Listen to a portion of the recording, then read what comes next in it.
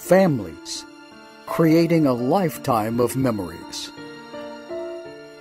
Sadly, some families are denied these important moments due to the sad practice of alienation. These are families divided. Hello, everyone, and welcome to this week's episode of Families Divided TV.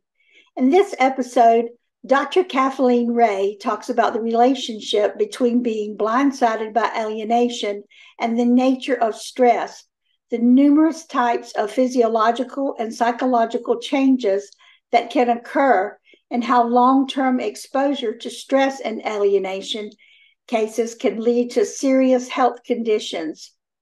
Dr. Reay provides strategies to help rise above the stress. Of significance, she shares information about an upcoming wellness retreat she specifically designed for alienated parents and grandparents. Some highly acclaimed PA experts from across the United States and Canada are attending and presenting on uplifting legal and mental health topics of interest. Plus, the PA experts will be engaging in numerous activities with attendees at this very special wellness retreat. We're looking forward to this episode with Dr. Kathleen Reay, and we're going to bring this to you right after these messages. Divorce and co parenting are a major life interruption for families, especially the kids, but also for parents and grandparents. And it's even worse in blame filled, high conflict cases. When parents engage in alienation by turning the kids against the other parent or grandparents, kids suffer. They're denied the opportunity to build the four big skills necessary for future resilience. New Ways for Families online class can help. Parents learn to use our popular BIFF and EAR skills to calm the conflict and stop the hostile emails and texts. And we even have a class for kids and parents to learn together. Research shows a 75% improvement in joint parental decision making after this course is taken, plus overall improvements for kids' well being. Don't wait to make this affordable investment in your children's future and improve your well being too. Start learning new ways for your family today at conflictplaybook.com. Hello, it's wonderful to be here with you. Tonight's topic is called Blindsided by Alienation. And if you are an alienated parent or grandparent, a mental health professional, or a supportive other, my goal is to offer you numerous takeaways from watching this entire show. Let's go over the agenda. First, I'll talk about the relationship between being blindsided by alienation and the nature of stress the numerous types of physiological changes that alienated parents and grandparents experience, the types of pressures that alienated parents and grandparents undergo in the here and now, and how long term exposure to stress in alienation cases can lead to serious health conditions. I'll share some strategies to help you rise above the stress. And of significance, I'll also share information about an upcoming wellness retreat that I've specially designed and am hosting for alienated parents and grandparents. Some very well known and highly respected parental alienation experts from across the United States and Canada are attending and making presentations on uplifting legal and mental health topics of interest. Plus, my colleagues and I plan to engage in numerous activities with you at this very special retreat. I think you'll be pleasantly surprised to see that this retreat is not just a vacation, it's a transformative experience like no other. Okay, let's get started. First, whether you're an alienated parent or grandparent, there is no doubt in my mind that at the start of the alienation process, you must have consciously or unconsciously felt blindsided, among other emotions, before you even realized what the heck was going on. You also likely soon recognized that the seeds of parental alienation sprout quickly. And as a result, whether you're experiencing mild, moderate, or severe alienation at this point in time, you likely continue to feel blindsided by all the horrible, toxic, manipulative, sickening things that the alienating parent does to you and your children or grandchildren. Stress is something that each and every one of us faces on a daily basis, some more than others. We all need a certain amount of stress in our lives to remain alive. Quite simply, the stress response is a natural physical reaction to the perception that we are experiencing some type of threat. Consequently, stress is inevitable when you're being alienated by your former spouse and or other family member. Having the ability to rise above this stress first requires a greater understanding of the nature of stress. What is so fascinating from both physiological and psychological viewpoints is that most individuals feel less able to cope when the stress response is triggered. So, why is that?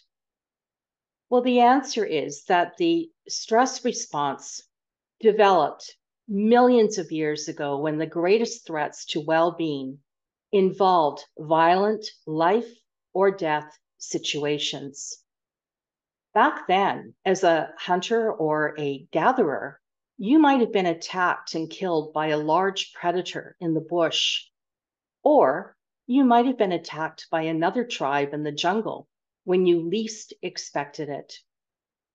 Your greatest odds for survival likely involved one of two choices fight as hard as you possibly could, or run away as fast as you possibly could.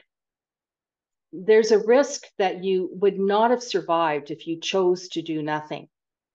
That is why the stress response is also called the fight, flight, meaning run, or freeze, do nothing response. You may have heard of the term survival of the fittest, meaning that those who fought the hardest or ran the fastest were more likely to live and to pass along their characteristics to their offspring. Therefore, the trigger for the stress response to be activated is a belief or perception that we are under some type of threat or endangerment, whether real or imagined. Numerous physiological changes take place when you perceive a threat and your stress response is activated. When you're blindsided, you tend to experience increased heart rate to help pump blood more efficiently to your working muscles, increased pulse rate and heart pounding, increased respiration to get additional oxygen from the environment, increased blood sugar levels due to the release of glucose from your liver, increased blood supply to your large muscles through the widening of blood vessels in those areas. Decreased blood supply to your digestive system and skin through the narrowing of blood vessels in those areas can occur. Increased flood of stress hormones, including adrenaline and cortisol, are also released into the bloodstream. Immune and sexual functions are suppressed, and so much more. Additionally, numerous emotional and behavioral changes occur during the stress response. For example, The stress response makes you feel alert. The stress response helps you stay focused. It helps you stay energetic. It gives you extra strength to defend yourself. The stress response helps you rise to meet various challenges and helps keep you on your toes. The stress response helps sharpen your concentration and can literally help save your life. The stress response can also voluntarily suppress your emotions and can trigger fear and negativity and so much more. Long term exposure to stress can lead to very serious health conditions, including, but not limited to, high blood pressure, heart attacks, heart disease, strokes, infertility, digestive problems, sleep difficulties, obesity, autoimmune diseases, certain types of cancers, skin conditions, increase of the aging process, anxiety disorders, depressive disorders, and various types of pain and pain disorders throughout the body. The types of pressures that you experience in the here and now are real. And due to the widespread damage stress can cause, it's important to recognize what your own limits are. Just how much stress is considered too much actually differs from one person to another. Some individuals can roll with the punches while others will fall apart at the slightest annoyance. Still, others seem to thrive on the challenge and excitement of a high stress environment. Your ability to tolerate stress as an alienated parent or grandparent will depend on many factors. Take a few moments to consider the types of obstacles and or pressures you are currently facing on a regular basis. Let's do a little self-reflection here. Consider one of the situations in which you felt yourself becoming stressed in the past week. Take a moment to think about it. Besides feeling stressed, what other feelings did you experience at the time? Can you recall feeling like your life was out of control? Or you were out of control? Or at least feeling out of control?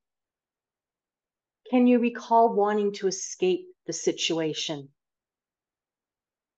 Can you recall wanting to run away and or scream really loud to help cope with the situation?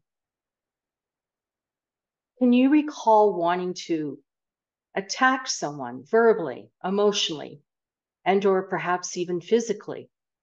For example, phone your former spouse and chew him or her out for not letting you see your child during your court ordered visiting time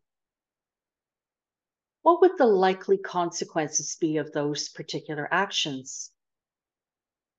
Were you able to rise above the stress, especially when you felt so blindsided by whatever the stressor may have been? If so, what did you do? If you just engaged in this exercise with me, I encourage you to give yourself a great big pat on the back or hug yourself Okay, now let's talk about strategies to help you rise above the stress. Here's my first tip. Build a strong network of supportive friends and family members to act as a buffer against the stressors in your life. Do your very best not to isolate yourself and feel lonely. The greater the loneliness and isolation you experience, the greater you will be vulnerable to more stress. Increase your sense of control. Given that alienated parents and grandparents are highly vulnerable to stress. It's not uncommon to feel like things are out of control. And at a time like this, it's important that you have confidence in yourself and your ability to be able to influence certain situations or events. Have enough self confidence to recognize that you can and will persevere through the obstacles and challenges in your life. Believe in yourself. Believe in your children or grandchildren's best interests. They need you in their lives. And I want to impress upon you that they really deep down know that. They're just not able to show or exhibit that to you or anyone associated with you for as long as they remain under the toxic umbrella of the alienator. Engage in regular check ins on your attitude and outlook. It's important to maintain an optimistic attitude. Accept that none of us can have complete control over what happens in our lives. Embrace the challenges and changes that have taken place. Accept that change is a part of life. Consider whether or not you are looking at your personal situation in a positive light and with a positive attitude. Be aware of how many times per day you think or say negative things about yourself, your ex, your children, or others. Ensure you've got a good sense of humor. Laughter truly can be one of your best prescriptions for coping purposes. Do regular check ins on your emotions. Alienated parents and grandparents are extremely vulnerable to stress when they don't know how to deal with their feelings. Suppressing your feelings is not healthy, nor is getting extremely agitated, angry, and doing something foolish. Learn how to calm and soothe yourself whenever you're feeling sad, mad, frustrated, blindsided, betrayed, afraid, or angry you can make healthy choices. Remember, it's not what you have, it's what you do with what you have. And you truly have the ability to bring your emotions into balance. In doing so, it will help you bounce back from adversity. Ask yourself Am I in control of my stress, or is my stress in control of me? be knowledgeable and prepared. The more knowledge you have about a potential stressful situation, including how long it will likely last and what to expect, the easier it will be for you to cope. For instance, if you go to court with a realistic picture of what to expect when your former spouse's attorney claims something horrible that completely blindsides you. For example, claims you physically abused your oldest daughter or granddaughter during your last visit, and you did no such thing, then have a valid argument prepared for the judge. Then there's a much greater chance that the judge will recognize that parental alienation is occurring. Give yourself an energy boost through eating healthy, nutritious meals on a regular and consistent basis. Engage in regular exercise. Studies show that individuals who participate in regular aerobic or anaerobic exercise often reveal less stress and anxiety than those who don't. Choose a variety of physical activities and recreational activities that you enjoy or will at least tolerate. Three to four times a week is best. Don't overdo it. And if you haven't exercised for some time, start by enjoying regular walks and slowly increasing your pace. Of course, you'll want to consult with your physician if it's been a while since you've engaged in any type of exercise. But all in all, once you do, you will notice the physical and psychological benefits of engaging in regular exercise quite quickly. Here's another tip keep your caffeine intake at a minimum. Although caffeine, coffee in particular, may help you feel more alert and help to carry you through difficult days, it stimulates your nervous system. Additionally, caffeine is hidden in numerous products that many of us enjoy, including, but not limited to, colas and other soft drinks, black, green, or other teas, decaf coffee, dark and milk chocolate, foods containing chocolate, such as chocolate ice cream, energy drinks, certain herbal stimulants, certain prescribed medications, certain over the counter drugstore items, and coffee flavored foods such as coffee yogurt and iced coffee flavored drinks. Any type of caffeine will block your adenosine neurotransmitters, which are what promote sleep. Results of too much caffeine in our systems results in sleep problems, restlessness, irritability, nervousness, exhaustion, muscle tremors or jitters, nausea, heartburn, increased or irregular heart rate, dehydration and thirstiness, and addiction. Here's another tip learn to breathe effectively and practice other relaxation strategies often mindfulness, meditation, yoga, progressive muscle relaxation, or guided imagery. Oh, and remember this too. It's important to watch your alcohol consumption and any other substance use. Tobacco, prescription drug use, or any illicit drug use. You know, it might seem like a good idea to have a drink, a smoke, or even a toke to cope, relax, sleep. But drug and alcohol misuse can easily turn into abuse and dependence for some individuals. And this is especially true if there is a family history of addiction.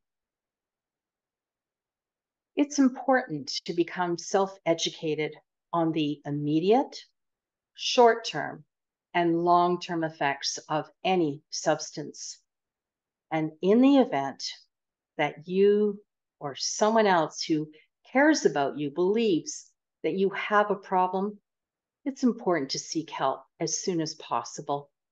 Talk to your physician or a mental health professional. Watch for any other patterns of addictive behaviors. Besides being cautious about engaging in any type of mind altering addictive behaviors, such as drinking and drugging, watch out for mood altering addictive behaviors too.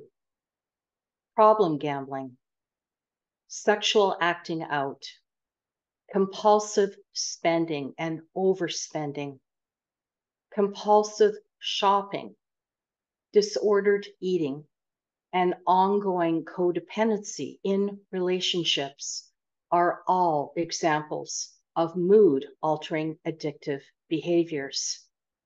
If you easily become thrilled by any of the aforementioned mood altering addictive behaviors, I encourage you to talk to your doctor or a mental health professional as soon as possible. Engage in a regular sleep pattern. You know, recent surveys conducted by the National Sleep Foundation showed that at least 40 million Americans suffer from varying sleep disorders. And stress is the number one reason for short term sleep issues. By engaging in a regular sleep wake cycle daily, you will feel more alert, refreshed, and energized, among other things. In the event that you are experiencing sleep disturbances, again, I encourage you to consult with your physician or a mental health professional. I also urge you to use a journal daily to write out your thoughts and feelings. Also, journals are really essential to keep track of various situations or events that take place between you, your former spouse, or perhaps your, your past daughter in law or son in law, your children, grandchildren, criminal justice system, and so on. And if deemed appropriate, share your journal entries with your attorney for legal purposes. Here's another tip blog one of the benefits of social media is the ability to blog. And many bloggers or vloggers, they sell products, they network with others who share the same profession, and they use blogging or vlogging for job searches and so on. Blogging or vlogging has also become a very popular way to post online journals and diaries and I have encouraged many alienated parents and grandparents to consider blogging their stories about family alienation online. Did you know that one benefit of blogging is finding out that you're not in an isolated situation? It's true. Additionally, blogging offers the ability for you to meet other individuals who will offer you support just as you may to them. Many alienated parents have reported that it's validating to blog or vlog because there are so many other parents out there who comment on understanding the profound pain of losing a child or grandchild through alienation. And in some cases, I've also seen alienated children reconnect with their alienated parent from reading their parents' blogs. Here's another tip join a PA online support group if you haven't already, or an in person support group. And if one is available in your area, find one. And if there isn't an existing support group in your area, hey, why not consider starting one? This can be easily accomplished through organizations online like Meetup. Next tip remember how important it is to balance your life. The key to functioning as effectively as you can during this very difficult and painful time is to do your best to experience a balanced lifestyle. And if all else fails, please seek counseling from a well qualified mental health professional who is experienced and well trained in working with alienation cases. Experiencing alienation as a parent or grandparent is an incredibly difficult and challenging period in one's life. Throughout this painful process, it can feel like a never ending battle as you navigate through all the contentious issues that arise. It's easy to lose sight of self care amidst all the chaotic turmoil. And that's where my specially designed wellness retreat comes into play. I have designed this retreat specifically for alienated parents and grandparents to take a much needed break unwind, recharge, and start anew. Please watch this video to learn more about this wonderful opportunity.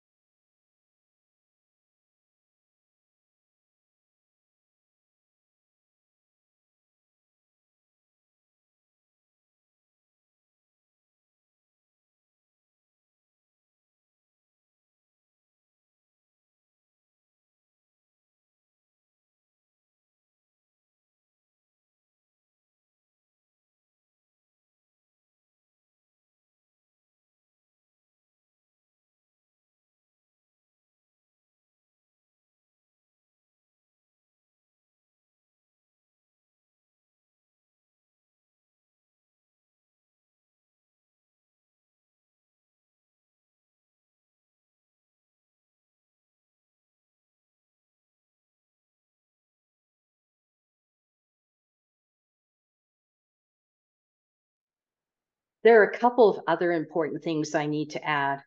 First, please note that alienated parents and grandparents can choose to come alone or bring a loved one or supportive other.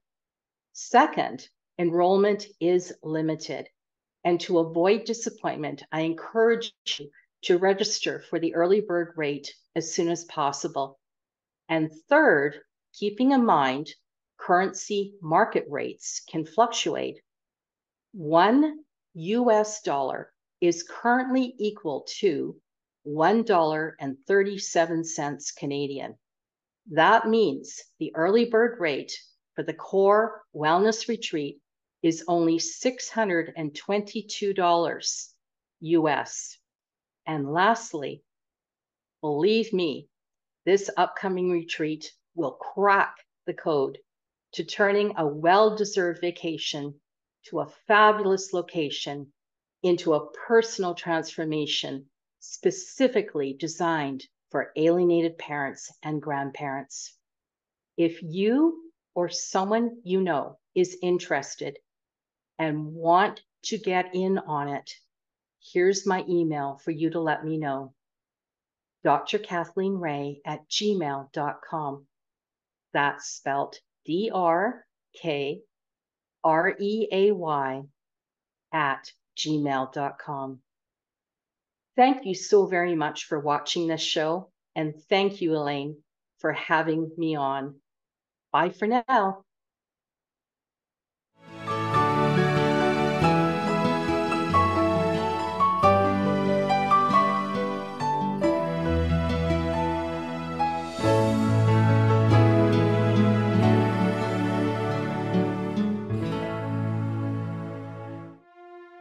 On our next episode, activist Brian Martin discusses turning the tables on false allegations, a bill in the process.